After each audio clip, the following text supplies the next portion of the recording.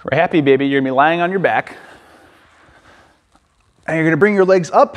You're gonna try to have your arms on the insides of your knees and grab the outside of your feet and just pull down as much as you can.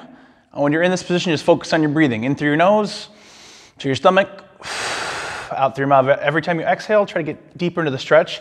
But if grabbing your feet are a little hard, you can always grab your ankles, or you can even grab the back of your thighs to pull in tight. The point is to be on your back and pull your knees towards your chest. But that is happy baby.